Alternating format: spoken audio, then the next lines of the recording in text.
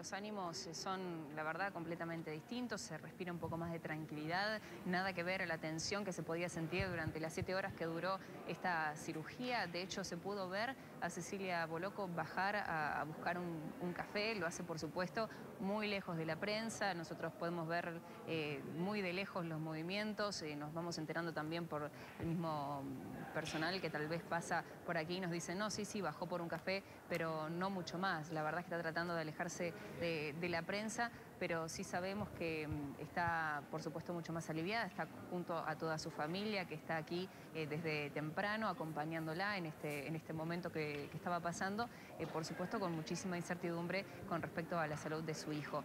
Eh, Máximo está despertándose de la cirugía, ha sido un proceso, ustedes lo saben, muy complejo, era un tumor que estaba alojado en la parte frontal izquierda, nosotros teníamos entendido que era en la parte derecha, pero no, era en la izquierda. Y eso también lo que puede llegar a ocasionar es que pueda tener algún tipo de secuelas en la parte del aprendizaje, por eso era también digamos, el miedo que había en esta cirugía de que algo pudiera salir mal. Por supuesto que es muy temprano para decir eh, el resultado exacto de, esta, de, este procedimiento, se sabe que...